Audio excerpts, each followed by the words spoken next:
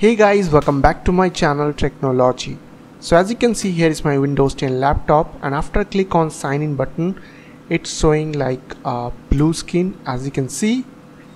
So I will show you guys how to fix this issue. So first of all you need to press Ctrl and L button together from your keyboard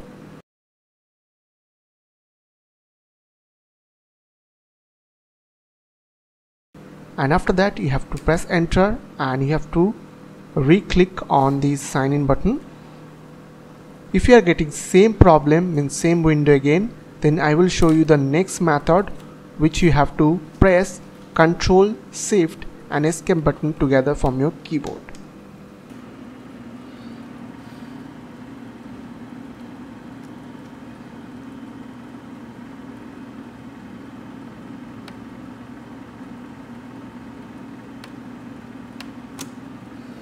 escape button.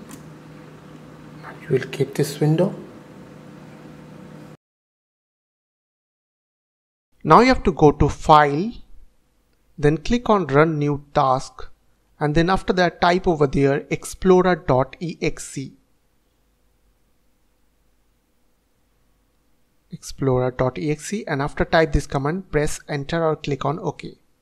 And it will fix your problem so let me show you from here